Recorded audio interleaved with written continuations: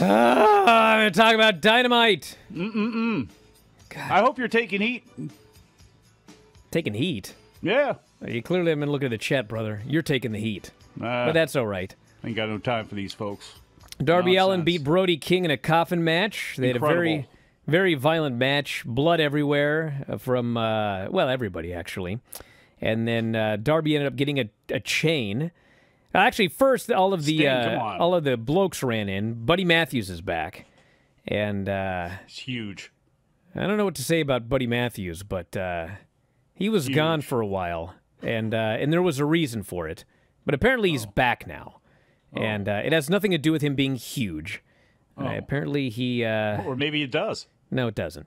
He uh, Well, I don't know.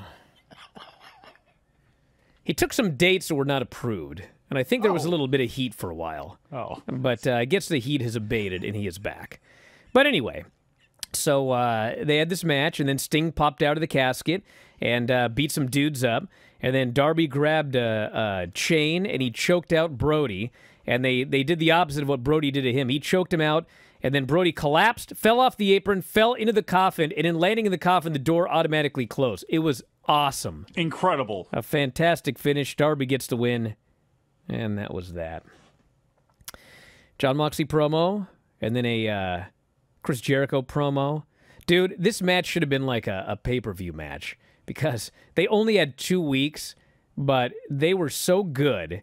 The match was so great. If they would have had like a month to build this thing up after two and a half years, I think this thing would have been a great, great pay per view main event. As it was, it was a fantastic TV main event. We had La Facción Ingobernable, Andrade and Rush versus Penta and Rey Fenix, and they had a uh, it was a tornado match, so no tags, just everybody doing eight million crazy spots. Penta's mask got tied in the ropes. He actually unmasked himself in order to make a save, which was funny because in the end it didn't matter. They still got beaten anyway. And uh, he ended up outside. They killed poor Fenix with the bull's horns and then the uh, hammerlock DDT. So a, a big win for the Faction as they move on to face the Young Bucks in the Trios tournament. This is a very good match. We had the Young Bucks and Hangman and the Dark Order. And after all this time, Matt, Degrassi. I never watched Degrassi Junior High, but I imagine some of the acting. That's that's what this is. after all this time, Matt finally apologizes to the Hangman. He says he, if he could take it all back, he would. And what they want is for him to just team with them for the trios titles. Let's go The steady. Hung Bucks can ride again. We need to go to homecoming, win those six and man Hangman titles. says, "You know what? I can't. I'm not in the tournament. I owe it to these guys. They've stood behind me this whole time. I will be in the corner of the Dark Order in this tournament. So I think you need to find somebody that's never turned their back on you."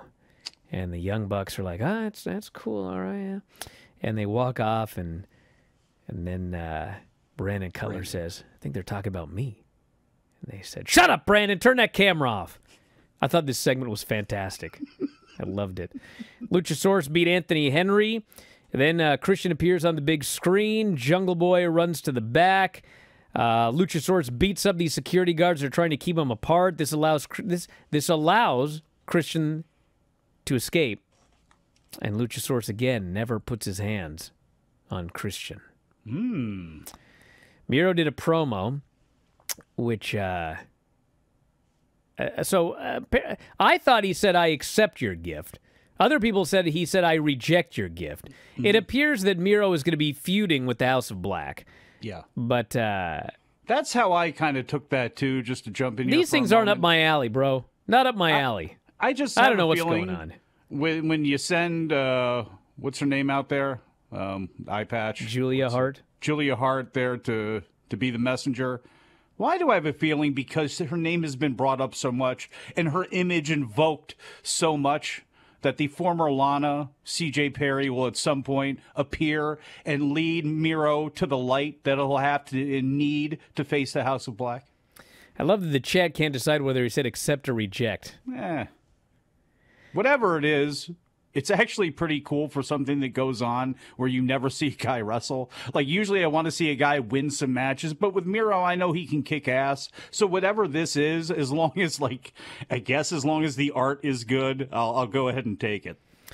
We had Jay Lethal, Sanjay, and Satnam, not in the trios tournament, come out and okay. they had a confrontation with Wardlow and FTR, not in the trios tournament. Now there they should be. And uh, FTR ended up hitting the big rig on Jay Lethal, who wants another shot at Wardlow's title. Although I don't know if he's going to get it after that, but I guess we'll see. Does this mean FTR is defending the ROH titles against Satnam Singh and uh, Sanjay? I don't know. Or I don't think Sanjay so. and Jay Lethal? Actually, not- that would be a good match, but I mean, uh, Sanjay's not wrestling. well, oh God, Satnam Singh and Jay Lethal? Ricky Starks beat Aaron Solo, and afterwards, I guess to uh, rehab him from what happened last week, where as a babyface he started a fair fight and then got his ass kicked. Well, So Nick Comoroto hits the ring. He fights him off. It's two on one. Uh, he avoids a chair shot. He bails. He runs up the ramp. He escapes. He smiles. And then Hobbs is furious that the factory wasn't able to uh, finish him off here tonight. Starks and Hobbs are awesome. Together or feuding, love it. The Gun Club and uh, Billy Gunn, not in the trios tournament, had a uh, deal backstage. Stokely walked up and wanted to recruit the Gun Club. Billy told him to get out of here.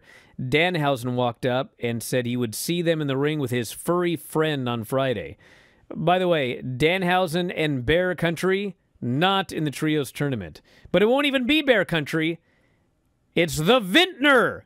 Danhausen and the Vintner will be facing the Gun Club on Friday. Beardhausen. We had uh, Trustbusters making their uh, their debut backstage. Yeah, At that point, did you think about turning A and E on for the new uh, live court show that they have? on I, I didn't, but I, I just could not believe that I was watching uh, Harland on my screen, Harland. who has hair now. He's now like Harlan. powder. Should have been his name, Harlan. Uh, what? Well, never mind. Obviously, somebody said something to somebody about how he must have looked, you know, training or something like that in NXT because of all the people to bring in. It just kind of random, really is. Slim J, I understand, and I understand bringing some people in for ROH, especially some people with experience. If you do want to only have the Briscoes and mostly younger, cheaper talent, but I mean, I'm just really surprised that Parker Boudreaux, of all people, is somebody you took a gamble on and are, is on national TV right now. Oh man, we had Jade Cargill and Madison Rayne, and uh, God bless her. I hear she's a nice person, but uh, Madison Rayne got hired as uh, as a trainer. She's had two matches on national television. They have both been very bad, and uh, this one was bad enough that Jade Cargill actually looked the better of the two, and it just went on forever. There was a lot of standing there, just waiting for something to happen. And finally, Jade hit Jaded for the pin. And then Athena attacked her. And uh, looks like uh, Athena versus Jade is going to be the match likely for the TBS title at the pay per view. Who's had the best match with Jade? Because, like, you know, they, somebody's got to be a whisperer for her, and they need to find them quick because it's not like she had good matches with Serena Deeb, didn't have a good one here with Madison Rayne. You, like, you start picking people who have had experience, who have gone in there with her, and granted, one match is only one match, but, like, they got to find somebody because I love Jade as a character. I love a lot of the stuff about her, but, like, there's got to be something that'll make her look better in the ring. Uh, we'll do. Uh, we'll have Fauntleroy do Rampage here after the break. But uh, next week on Dynamite, Andrade, Rush, and Dragon Lee against the Young Bucks and very likely Kenny Omega. Toni Storm versus KiLynn King. And then Bryan Danielson faces Daniel Garcia in a best of three falls match. So they're getting that match over with. Danielson, I'm sure, is going to get his win back. And then we'll have Danielson and Jericho most likely at the pay per view. Hey, do, do you think they could actually split falls and then go to a draw or have some sort of no contest where Bryan doesn't get his shot and then Well, he's they- got to have some sort of They could do that. ultimate match? I think that he's going to get his win back, but in best of three, you know, Daniel Garcia can at least get another win over him. So I think that's probably what they're going to end up doing. But Then the main event was Jon Moxley and Lionheart Chris Jericho with his Lionheart gear, his Lionheart song, his Lionheart hair, his Lionheart physique since he lost all that weight. and he went in there with Moxley. And, dude, these are two guys that cannot have a bad match together. They're made for each other because they're both very good wrestlers and they're also very good brawlers. And so they can each and they'll they'll they'll lay into each other. They'll just get in there and they'll go. And uh, Jericho ripped out his earring, so Moxley, pretty sure, gigged his ear. He's bleeding all over from the ear. Yes. And then Roddy uh, Piper would be proud. Jericho accidentally hit an exposed buckle, legitimately, and legitimately got busted open. He had a big slit right down the front of his head. He's bleeding everywhere, which actually made the match even better and actually turned Jericho babyface by the end because Jericho they did a they did a uh, walls of Jericho through an entire commercial break. He puts them in the walls. They go to commercial.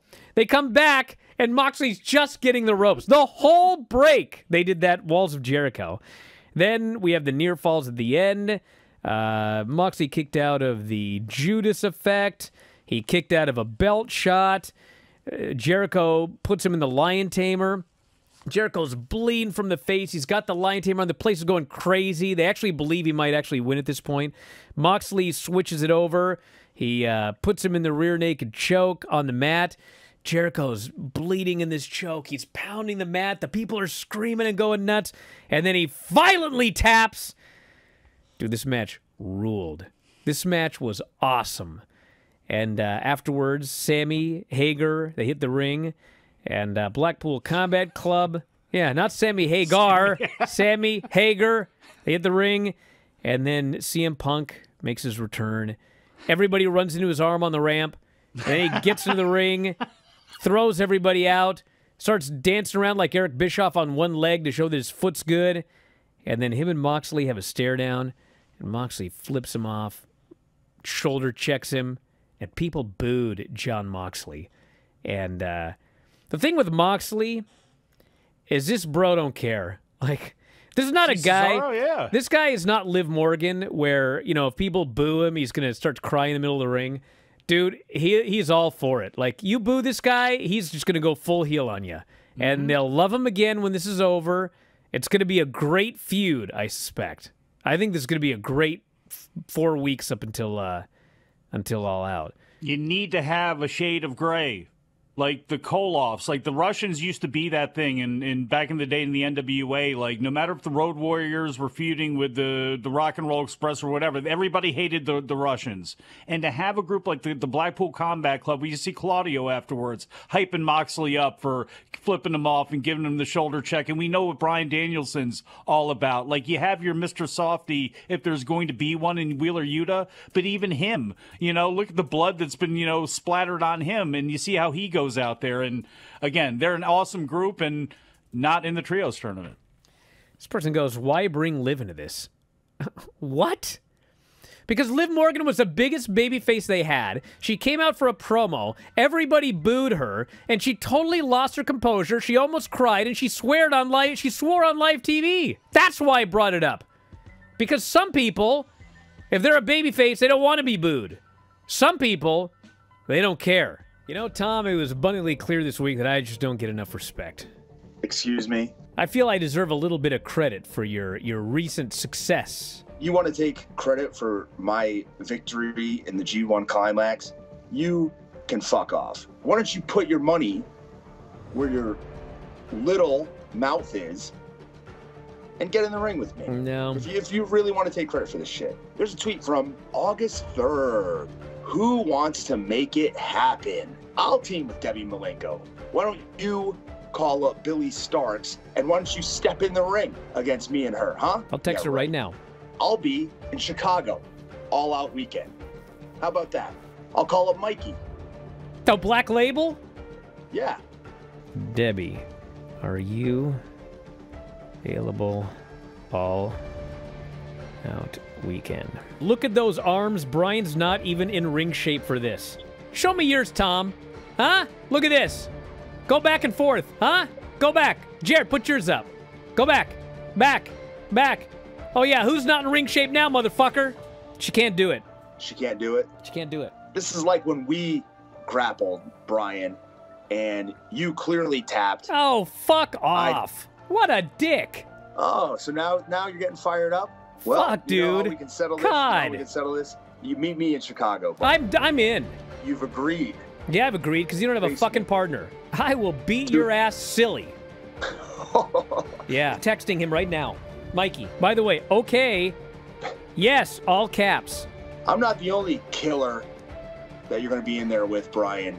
Killer Kelly. See you in Chicago. Although I, I was just alerted that the show is at 11 o'clock p.m., so I, I may have to pull out. That's past my bedtime. So if you're going all out weekend, Black Label Pro, Friday, September 2nd. I can't wait to beat your ass. Not going to happen. It's been years in the making.